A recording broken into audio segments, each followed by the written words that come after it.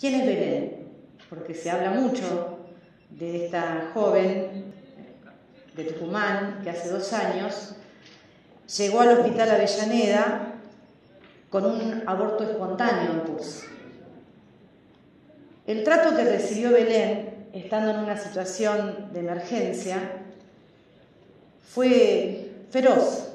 No solamente fue maltratada, se violó su identidad, se violó el secreto profesional, se ejerció la violencia obstétrica e incluso se permitió que la revisaran agentes de la policía mientras estaba siendo atendida en el momento de la emergencia.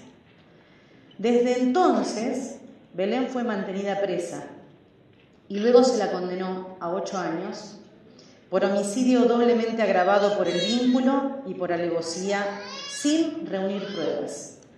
Y sobre esto y las contradicciones de los registros es importante difundir. Los testimonios y los registros en el hospital son elocuentes. Aparece un feto que luego desaparece, al cual nunca se pudo producir un, un examen de ADN para comprobar que ese feto correspondía al cuerpo de esa madre embarazada que es Belén. Obviamente Belén es un nombre de fantasía para cuidar la identidad de esta joven.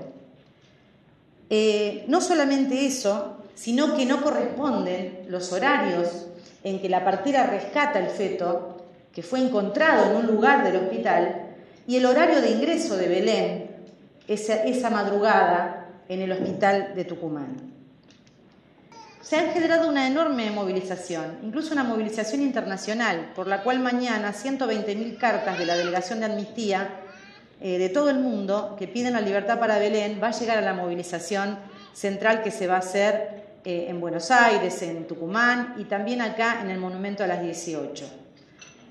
Lo que estamos reclamando es que se anule la condena, que se libere a Belén, porque aquí hay una condena en base a prejuicios.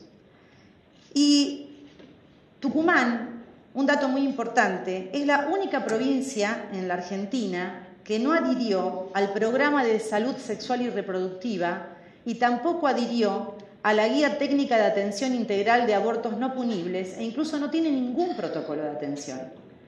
Entonces es muy importante que esta movilización por la libertad de Belén, por las responsabilidades políticas en todo el procedimiento, sobre esta condena prejuiciosa sobre el cuerpo de esta joven nos concentre mañana en el monumento para poder eh, manifestarnos por su libertad, por la nulidad de la condena, por el derecho al aborto no punible y por conquistar definitivamente el derecho al aborto legal, seguro y gratuito.